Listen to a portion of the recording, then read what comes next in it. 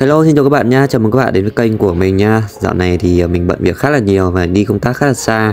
Đó, do vậy là bây giờ mình mới ra được clip cho các bạn. Tại vì nếu mà đã đi như vậy thì không thể nào mà có cái thời gian yên tĩnh để mà ghi âm được đâu các bạn ơi. Thôi, thì mới vào đầu là mình đã phí cho team bạn ờ, một mạng rồi mọi người ạ. Đó, không một rồi.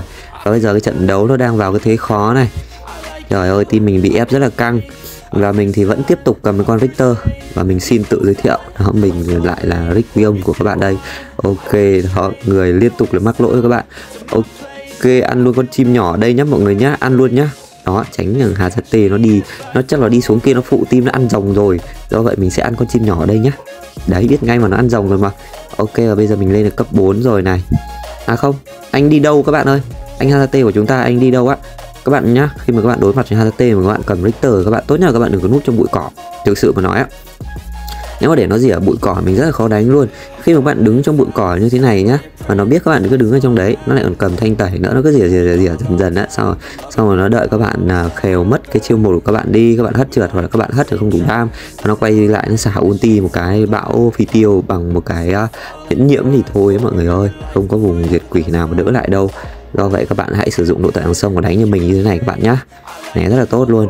Ok thì mình sẽ lùi lại một nhịp chờ cái siêu một nó hồi thì mình mới vào các bạn ơi. Đó và team của mình dưới kia thì đang ép và lấy được cái trụ uh, một đường rồng rồi mọi người ơi. Tưởng dưới thạch là sau khi mà đã lấy được cái trụ một đường rồng rồi thì team mình sẽ rất là dễ đánh và di chuyển rất là rộng. Thế nhưng mà uh, không các bạn ạ. Đó, team mình nói không. Game nó dễ quá. Team mình đã làm cho nó khó hơn. Bằng cái việc là bạn Alice của team bên mình cũng như bạn Van Hên. Các bạn đi khá là lẻ. Đó, các bạn đi lẻ do vậy là team bên bạn bắt lẻ lại được và sau đó là kéo giãn là trận đấu ra. Và dần dần thì team mình bị vào cái thế đó là phải thủ nhà mọi người nhá. Ok bây giờ thì mình vẫn cứ lên đây, mình dọn nhẹ cái đường lính này một cái này. Liên tục là đẩy cái đường lính mid cao, tránh cái việc đó là tìm bạn dồn vào cấu cái mid của mình rất là khó chơi. Cuốn vào tại đường sâu mình lướt vào lính, ăn cục máu di chuyển ra, mọi người ơi. Đó, bây giờ Hazate đã dìa mất cái lượng máu hồi phục mình lấy từ trong trụ rồi. Ôi trời, ăn được cục máu của bạn gì mà bạn căng vậy bạn ơi? Mình sẽ hất vào lính này, hất tiếp vị trí Hazate còn nửa vạch nội năng là chưa hồi chiêu hai. Ok, bây giờ mình lùi nhẹ một xíu mọi người nhá và bây giờ thì Hatate đã hồi chiêu 2 mình sẽ sử dụng cái chiêu một nội tại ứng sông, cộng tốc biến lao vào thêm một lần nữa, chọc tiếp tục mạng Hatate đó, bây giờ thì thôi, mình không sống được rồi, mọi người ơi. Không thể nào sống được trong pha này. Cố gắng cố gắng làm sao? Cố gắng thì vẫn phải nằm lại thôi. Bây giờ Murat thì bạn ấy chỉ cần lướt hai lần lướt, chém nhẹ hai cái, sau đó là ulti thì kết thúc được cái mạng của mình. Chẳng phải nói nhiều, mọi người ạ. Biết cái kết cục rồi. Lại còn chưa kể đến là vị trí đó của à, bạn SP bên kia. Rồi đi giết nữa nếu mà khả năng nếu một mình Murat trong pha vừa rồi ấy, thì mình vẫn có thể mình có quay được bằng cái băng xương mọi người nhá. Đó khả năng mình vẫn sống được nhưng mà với cả SP team bên bạn thì rất là khó. Ok bây giờ mình sẽ lên trên này. Mình à, sẽ ờ, ăn nhẹ cái lính mid cùng với là vị trí của đó là Mganga đó. Vâng, Mganga trận này thì khá là tù. Và cái việc bạn ấy di chuyển, bạn ganh cho mình thì hoàn toàn là không mong đợi đâu mọi người ơi. Bạn phải di chuyển để ganh cho cái đường rồng kia kìa. Còn mình thì mình hoàn toàn là có thể lo liệu được. Ở cái đường tốt này với cái cơ chế của Richter đó là rất cơ động mọi người nhé pha này thì Hazate lại mắc một cái lỗi sai nữa rồi. Ok, mình sẽ đóng băng xương nhá. Rồi, kết thúc với mạng Hazate rồi, na thì băng xương khá là sớm, nhưng mà không sao. Băng xương sớm còn hơn là để cái lượng máu còn ít. Sau đó là ai đó di chuyển lên thì cũng rất là nguy hiểm cho na. Và bây giờ thì mình sẽ lấy luôn cái trụ tốt, mọi người ơi. Đường lính nó khá là cao rồi, lấy được cái trụ tốt, lấy được cái trụ rồng, rất là thơm. Team mình sẽ mở ra cái cơ hội để đè vào rừng cái team bên bạn, cũng như tầm đánh nó rộng hơn, không cần phải bó buộc vào trong những cái trụ bên nhà mình nữa rồi. Đó ở đây thì team bạn đã đổi qua cái chiến thuật đó là dồn FP lên trên này, cộng với đó là Hazate để mà ép mình ở cái lane này, mọi người ơi. Rất là khó luôn, mình phải bỏ cái trụ một đường tốt rồi. Lui nhẹ một xíu, chờ na lên pha này thì lại hơi là sai rồi. Cố gắng băng vào lấy cái mạng của đó là SP team bên kia, nhưng bị Hazate xả khá là đau. Cái na pha vừa rồi cũng hơi là tham, mọi người ơi. Và mình đã đi theo na mất rồi. Trời ơi, bây giờ bằng những cái việc đó là các bạn chia lẻ người ra, các bạn đi cấu trụ mà AD cũng như SP team bên mình bên kia kìa. Cứ chỉ có đi một đường thôi thành ra là mất mid cũng như là mất trụ bên đường top rồi mọi người ơi mất mid thì toang rồi. Trời ơi, AD mấy SP kiểu gì vậy trời? Bây giờ nhá các bạn ép được hai bên rồi đúng không? Cái việc tiếp theo các bạn ép là các bạn ép vào cái trụ mid nhà team bên kia Chứ không phải là các bạn cứ ép thông mãi một cái đường trên kia mà mid nó mất rồi thì rất là khó đánh đấy mọi người ơi. Tại vì mid mất rồi team bên bạn hoàn toàn có cái khả năng đó là tràn vào rừng để team bên mình và đánh map rất là rộng mọi người nhá. Đây, bốn năm người dồn vào đây thì mình sẽ bắt vị trí của Hanate. Hanate thì vừa mới lướt rồi, không còn lướt đâu mọi người ơi. Ok, kết thúc cái mạng Hanate mình sẽ lui nhẹ một xíu mọi người nhá. Kahi thì thấy mình không tới tầm luôn. Và lướt một lần vào Kahi, lướt tiếp theo để mà thoát vị trí đó của Crisis đó bạn ấy mà hút lại được mình một cái thôi Van hên à Violet nó bắn cho thì tét đầu luôn mọi người ơi. Pha này không dám bắt được vị trí của Violet. Khều một cái thôi là thằng thằng Murat nó ra nó dìa sau đó là à, Violet bắn thì thôi khả năng là mình cũng nằm đấy. Đây bây giờ mình sẽ à, băng vào vị trí của FPT bên kia cấu cái đường lính mít này mọi người nhé đó cấu máu thôi nên là lui về trong pha này. Đấy chỉ cần sai một lỗi đến từ vị trí của AD cũng như SP thôi thì đang với cái thế công thì team mình lại phải chuyển sang cái thế thủ mọi người nhé liên tục là vị trí của AD cũng như là SP sai, mọi người ơi. Để làm sao cầm cái con Richter này mà sửa sai được cho team trong pha này đây, mọi người ơi. Đây, trời ơi. Mình vẫn cứ phải đẩy cao cái đường lính mid này lên, mọi người nhé.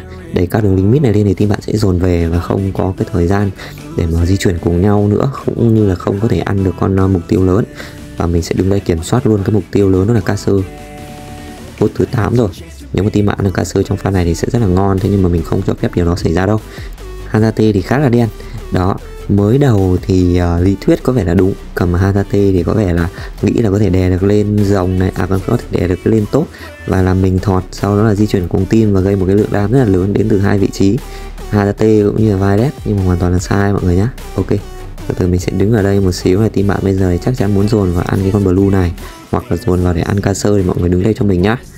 Đó để xem là cái hướng di chuyển của team bạn sẽ như thế nào. Và bây giờ thì không có ai. À, AD đang đi lẻ, mọi người ơi. Rất là khó, Van Halen mà đi lẻ rất là khó chơi rồi. Thế nhưng mà đang nhìn vị trí Kahi về tủ cái đường trên. Do vậy mình sẽ núp vào đây luôn, mọi người nhé núp ở đây tránh team bạn dồn ra. Đó, cho dừng team mình cũng như là team bên mình ăn con ca sứ nó được thoải mái nhất. Và dường như là team bạn đã biết team mình ăn ca sơ rồi. Lần này thì mình hẫng một nhịp hất tung rồi. Trời đất ơi, hất còn trượt luôn ạ. Mặc dù thương khung nó được bật lên. Thế nhưng mà không thể thoát được cái lần tinh linh bắn cuối cùng, mọi người ơi. Trời ơi lâu không chơi Chơi gà thực sự luôn đấy 440 rồi. Không biết là có gánh được cái team này không nữa. Lại còn thả tà thần ấy kiểu gì chứ Thả ở bên trụ kia để làm gì? Trời đất mít thì không thả. Mình không nghĩ là trong pha vừa rồi mình lại hất trượt đâu mọi người ơi. Đó đang định hất lần đầu tiên thì bị Murat vào làm choáng một lần sau đó khựng tay thì sau đó là lại gặp Violet lộn lên nữa hất trượt Violet toang luôn mọi người ơi. Trời ơi lại chửi nhau luôn cơ ạ mọi người ạ. Trời Van Hên cũng như là uh, Narod đang chửi nhau rồi kìa mọi người ơi và nên này bạn chơi cũng khá là tốt. Nhóm cũng khá là hay, thế nhưng mà mỗi việc là bạn di chuyển hơi sai sách thôi mọi người ơi. Ok, thì mình sẽ đứng đây nhá. À thôi, mình đang nhìn vị trí Murat thì mình sẽ vòng ở dưới đường này mọi người ơi. Ba người dưới này thì từ từ nhá. Rồi, nấp vào trong cái bụi này này. Đợi Murat di chuyển vào thì mình sẽ bắt lẻ lại Murat thôi. Chứ pha là mình lao vào cả ba người thì thôi xong luôn đấy mọi người ạ. Rồi, xong nhá. Kết thúc cái mạng của đó là Murat rất là thơm. 445 vàng luôn, rất thơm và rất là xanh. Rồi, lướt ngược lại vị trí của Hatate đó, và lại một lần nữa Kahi sấy không tới tầm với mình. Ok, và mình đã lui lại được rồi mọi người nhá. À Azate à Azate định làm gì đấy bạn ơi? Trời, đất sấy rất là tít thế nhưng mà chưa đủ nội tại đã vào sấy như thế này là toang rồi Hazate ơi. Đó mà gặp ngay con vị tướng là mờ gắn ga nữa, bạn hồi máu rất là tốt luôn. Ok, bây giờ thì đã giảm đi hai cái vị trí cực kỳ là khó chịu trong team bạn. Tiếp theo là ba vị trí rồi mọi người ơi đó là rừng cũng như là đó là mid và thêm vào nữa là top Hazate toàn những cái vị tướng mà nó khó chịu và đam nó cũng rất là ok đấy. Tiếp theo là vị trí của Violet Violet thì vẫn đang chăm chú đẩy lính cao và đi farm. Rất nguy hiểm với con bài Violet này mọi người nhé đó, mặc dù là Hazate thì nó là một con bài khắc chế mình tốt hơn về cuối game, thế nhưng vẫn rất là quan ngại con bài Violet này. Tại vì cái độ bắn ra chí mạng của Violet thì nó cực kỳ là ảo rồi mọi người ơi có khi nó pop một cái là mình mất 3k đấy mọi người ạ. Mà 3k trong giao tranh thì cực kỳ là cần thiết luôn. Thôi nhá, team mình lại làm gì kia? Chả hiểu kiểu gì luôn ạ, mọi người có thể thấy. Trời ơi.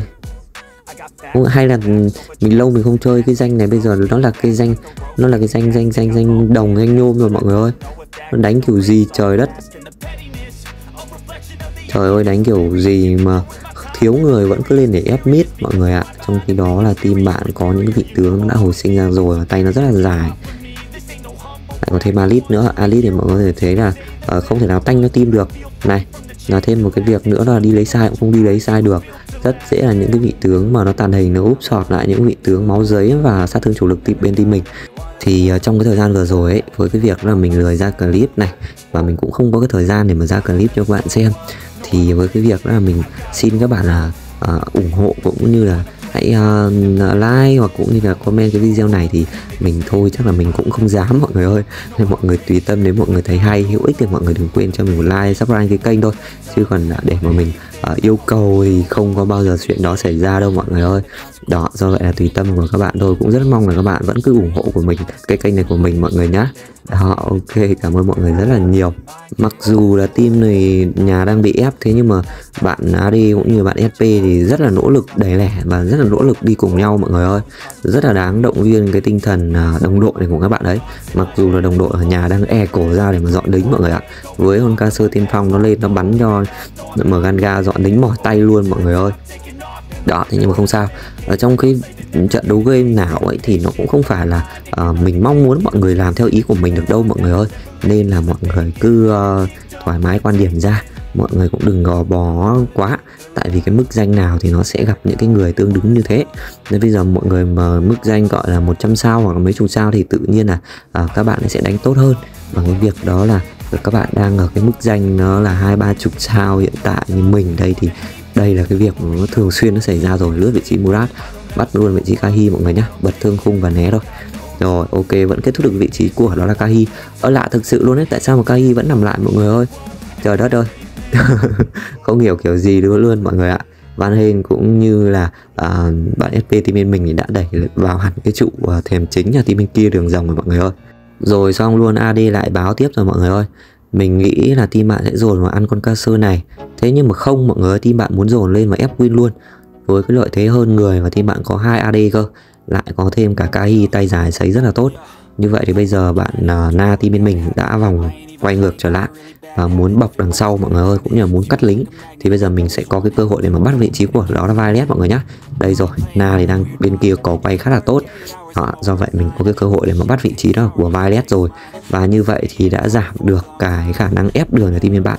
Với việc đó là Kai cũng như là Violet nằm lại rồi. Đó, Grixix thì bạn ấy không thể nào bạn ấy làm tường.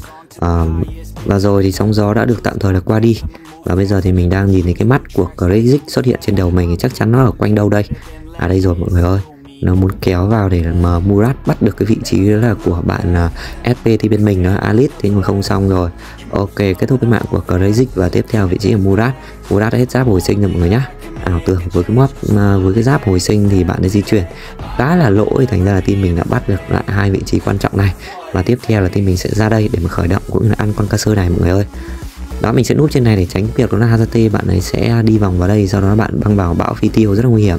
Ok bây giờ thì Hazate chỉ còn cái việc đó là lui về thôi thì mình dồn lên ngay mọi người nhé đó thì cái trận đấu này thì mình cũng xin là giới thiệu luôn các bạn. Đó là cái bộ uh, trang phục cũng như là cái bộ uh, build đồ à quên bộ build đồ tức là bộ trang phục thì Richter của chúng ta nghe nó tủi thân quá mọi người tại vì là rất lâu rồi Richter chưa có một bộ trang phục nào mới cả.